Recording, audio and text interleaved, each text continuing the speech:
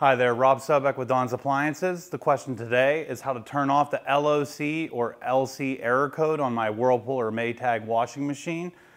Whenever I'm pressing the control panel on this unit, you'll see the LOC code and the flashing key.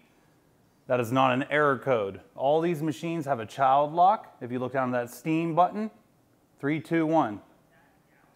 We're back up and running. You'll see hold three seconds for control lock there. You wanna hold it in to activate the control lock, hold it in again to shut it off.